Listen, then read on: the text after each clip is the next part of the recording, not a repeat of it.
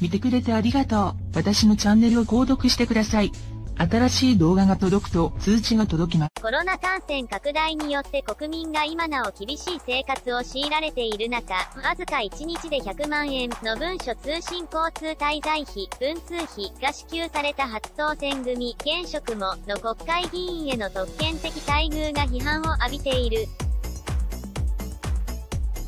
国会議員にかかるお金は、月100万円の文通費だけではない。歳費、給料や税金で賄われる数々の費用の総額は年間約1051億円に上る。国会議員1人ざっと1億5000万円を国民は税金で負担させられているのだ。税金で優雅な生活を保障される国会議員は、政治資金というもう一つのポケットを持つ。各政党を通じて年間約311億円の政党助成金が税金から支払われているのだから、政治活動はその金でやってもらいたい。ところが、こちらの金の使途も制限はない。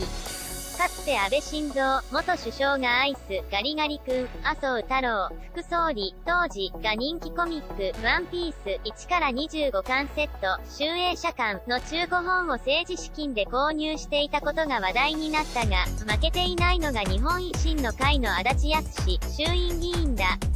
東京都内在住の男性会社員が情報公開請求で入手し、本市、週刊ポストが提供を受けた足立市の資金管理団体、新風会の2019年の報告書には、地元のスーパーなどで購入した白熊アイスバー317円、雪見大福2280円、まん丸ラムネ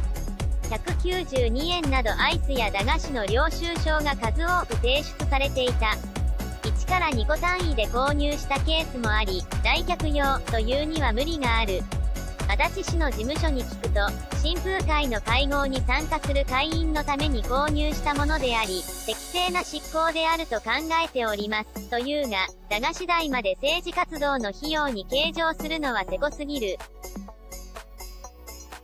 昨年からのコロナ禍で国会議員の会合や外食も激減したとされるが、11月17日に東京都選管が公表した2020年、令和2年分の政治資金収支報告書によると、石原宏隆氏の資金管理団体、石原宏隆の会は、昨年6月のザ・プリンパークタワー東京での飲食代約10万9000円をはじめ、焼肉、寿司、うなぎ割烹、焼き鳥など合計約30万円の飲食費を支払っていた。コロナ禍でも政治資金でグルメしていたわけだ。石原氏の事務所に聞いたところ、政治資金は法令に従い適正に処理し、収支を報告している。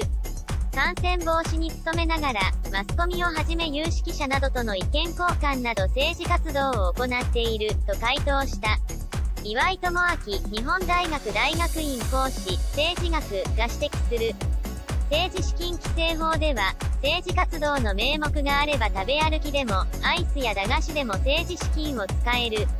だから政治家は問題を指摘されると、法令に基づいて処理している、と開き直るが、違法でないから許されるわけではない。有権者は合法でもダメと言えばいい。週刊ポスト2021年12月10日号。